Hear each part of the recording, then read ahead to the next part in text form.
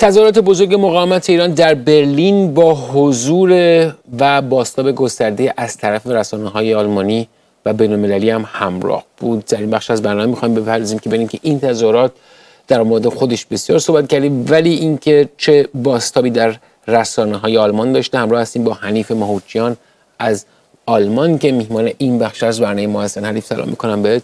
شبت بخیر. خوشحالم که ما هم هستیم. منم به شما سلام می‌کنم به همه دستنرکاران سیمای آزادی و بینندگان عزیز, شما و مخصوصا به کانونهای شورشی. در واقع ما توی صحنه تظاهرات در روز شنبه شاهد حضور گسترده ای از خبرنگاران آلمانی و انگلیسی زبان بودیم که آنها با علاقه بسیار چشمگیری دنبال ما می اومدن از ما سوال میپرسیدن و گوش بازی داشتن برای حرفای مقاومت ایران و مردم ایران. و من خودم شاهد این بودم که واقعا خبرنگارا توی صحنه دنبال هموطنان می‌رفتن و ازشون می‌خواستن که باشون یک اینترویو داشته باشن یک گفتگویی داشته باشن. و سوالا خیلی مشخص بود که به نظر من اون چیزی که ما توی صحنه دیدیم ما تونستیم با تظاهراتمون با حضورمون اونجا پیام مقاومت و مردم ایران رو توی رسانه ها پخش بکنیم و به گوش جامعه و سیاستمداران برسیم که اگر شما اجازه بدید من چند تا مثال نوشتم از خبرگزاری ها. اونا چی نوشته بودن؟ به طور مثال رادیو برلین در گزارش خودش گفت که تظاهرات کنندگان خواستار اقدام فوری و مؤثر جامعه بینالمللی و سیاست. سیاست قاطع اتحادیه اروپا در قبال رژیم ایران شدند. آنها همچنین خواستار این شدند که سپاه پاسداران به لیست تروریستی اتحادیه اروپا گذاشته بشن. یعنی یکی از حرفهای اصلی ما بودش که ما تونستیم توی خبرگزاری برلین پخش بکنیم و نه تنها اونجا اینو نوشته بودن بلکه توی خبرگزاری بایریش رون فونک با حضور آقای بهمن آبدین یک مستند چند دقیقه‌ای درست شده بود که و انتشار شد که در اون گزارش از نقش تروریستی رژیم آخوندی از سرکوب مردم ایران و از مقاومت ایران صحبت میشه.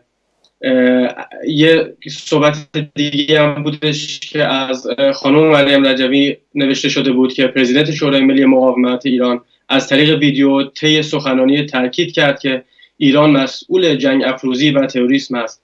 در سال 1979 سرنگونی رژیم شاه بود و قطعا سرنگونی رژیم آخوندی هم فرا می‌رسد. در واقع خب فقط رسانه آلمانی نبودن که راجع به برنامه توی برلین مقاله نوشتن و تظاهرات انتشار کردن بلکه رسانه بین المللی هم اونجا بودن مثل اسوشیت پرس که اونا هم یک توی خبرشون نوشتن که تظاهرات کنندگان پوسترهای مریم رجوی پرزیدنت شورای ملی مقاومت ایران را در راه پیمایی علیه رژیم ایران به مناسبت 45 جمین سالگرد انقلاب ضد سلطنتی در مقابل دروازه براندنبورگ در دست داشتن. خب این نشون میده که رسانه های بین المللی و در کل جامعه بین المللی واقعا در چنین نقطه هستن که گوششون تشنه شنیدن حرفایی هستش که راه حل برای بحرانهایی هستن که در منطقه و در جامعه بین المللی الان حضور داره. که ریشش همین رژیم آخوندی هستش.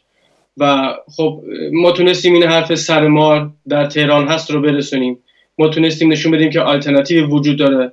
با حضور خواهر مریم و سخنانیشون که اونجا بودش ما خودمون به چشم خودمون دیدیم که خبرنگارها واقعا وایستاده بودن و چندین ساعت با ما اونجا حضور داشتن تا ببینن که کار ما دقیقا چیه و ما تونستیم رابطه های خوبی باشون بزنیم.